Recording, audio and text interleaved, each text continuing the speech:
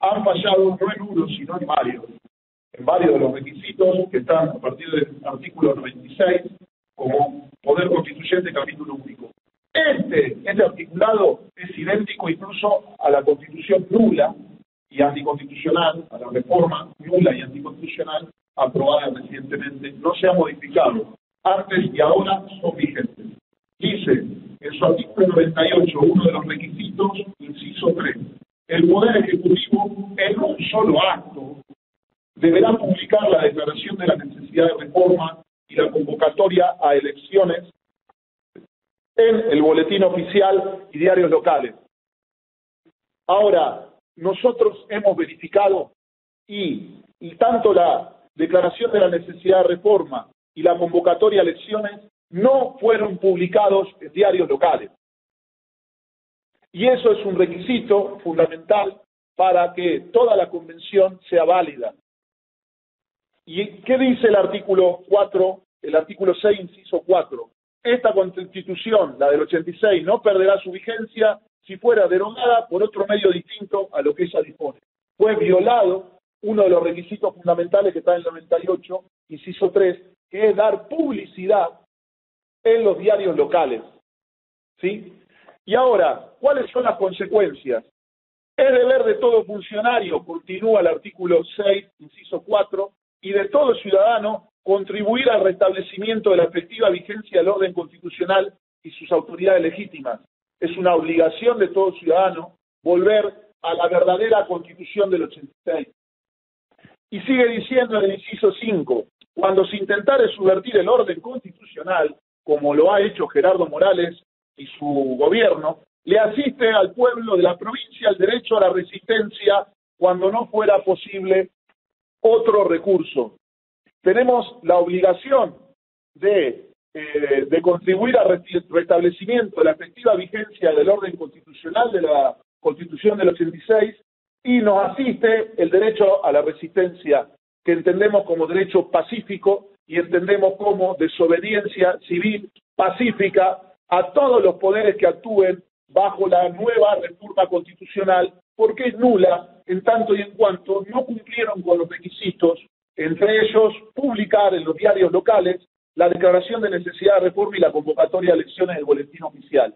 Otro de los requisitos que no cumplieron están el artículo 100. Los convencionales constituyentes no podrán desempeñar ninguna función o empleo público nacional, provincial o municipal mientras ejerzan sus funciones, algo que el gobernador Morales, al ser presidente de la convención, violó. Eso está como prohibición en el artículo 100, está prohibido. No cumpliendo los requisitos que establece la para reformar esta constitución, la reforma es nula y anticonstitucional.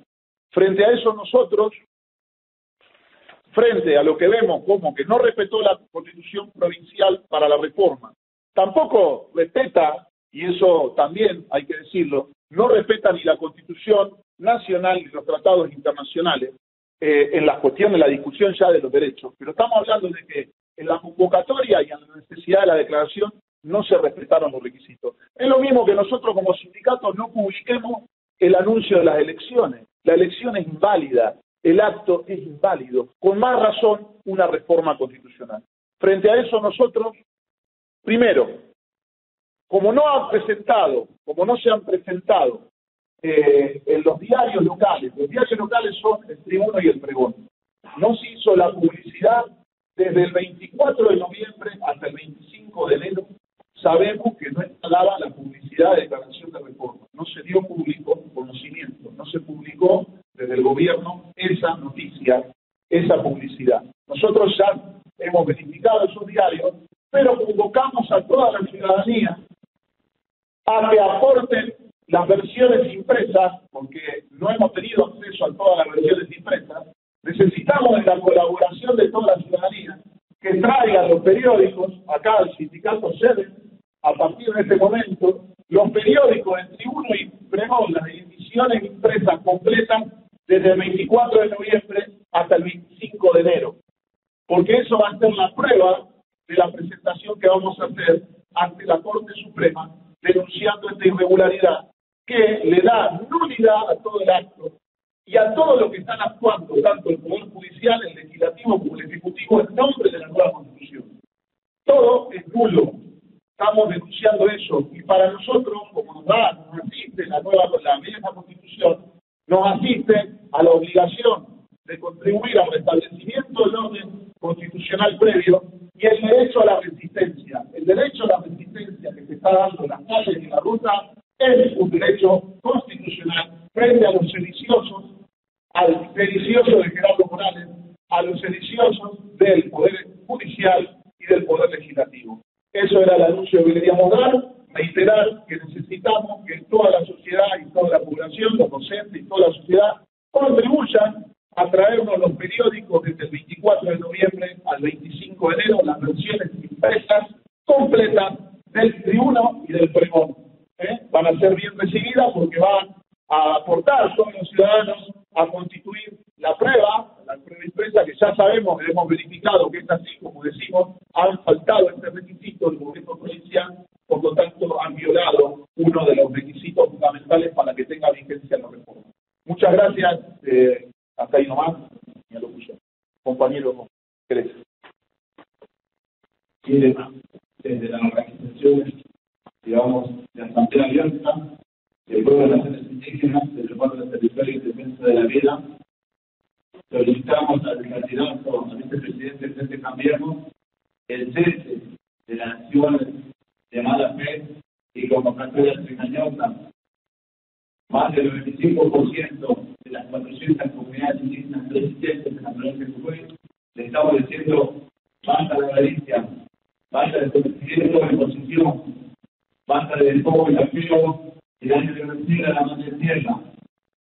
El camino es el diálogo sincero a través de la institución representativa, comprendedores y testigos de organismos internacionales y de derecho humano y a través del protocolo de consulta que tenemos vigente cada pueblo indígena en la provincia de Jujuy y el punto de partida es la unidad de la reforma constitucional. Bueno, por último, recordar también la, la agenda eh, de, hoy, que es la marcha con antorcha, acompañando a los docentes que vienen luchando por un salario digno y también en contra de esta reforma inconstitucional que se espalda del pueblo. También recordar eh, una jornada provincial que se viene para el día jueves, que vamos a estar movilizando en toda la provincia de Jujuy y seguramente con permanencia eh, en los cortes de ruta que están realizando también en las distintas localidades. Eh, esto se va a hacer junto con la multisectorial, eh, sindicatos, organizaciones sociales, organismos de derechos humanos, comunidades de pueblos originarios, todos en conjunto para este jueves que viene. por lo pronto eso y seguramente se irá eh, hablando después sobre la agenda que viene eh, y, y va a ser anunciada por la multisectorial, ¿no?